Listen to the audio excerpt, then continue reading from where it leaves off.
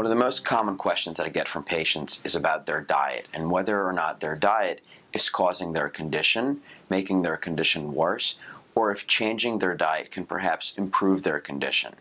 And this is true in my experience for patients with just about any dermatologic problem, whether it's a skin cancer or a dermatitis or an inflammatory process.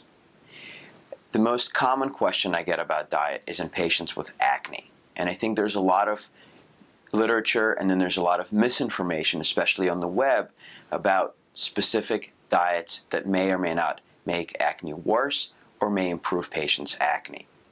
If you actually look at things that have data behind them, diets that are low in glycemic index may actually help some patients.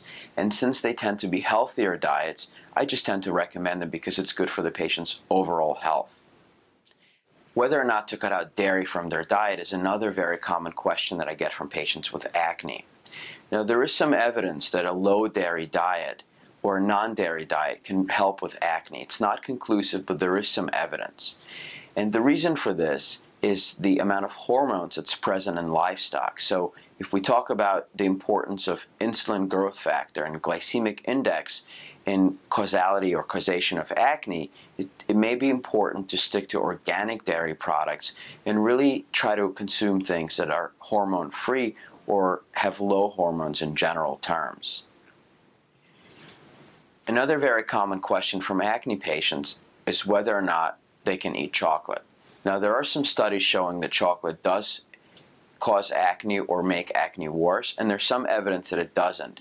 So, with this particular question, I really try to tailor the answer to each patient. So I kind of throw it back to them and say, well, what happens when you eat a lot of chocolate? If your acne gets worse, then really stay away from it. But if it doesn't, it probably doesn't make a difference for your specific condition.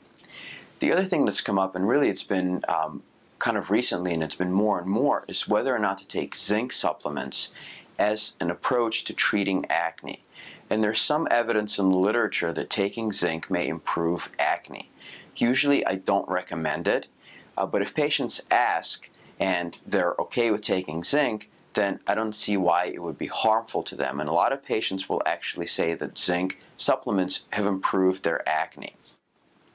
Psoriasis is another condition where patients often ask about diet.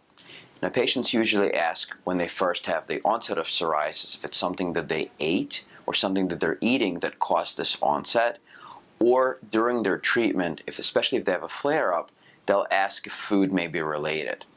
No, there's more and more evidence that psoriasis is not just a skin disease, it's really a systemic disease. And there's more and more evidence in the literature regarding the cardiovascular risks associated with psoriasis.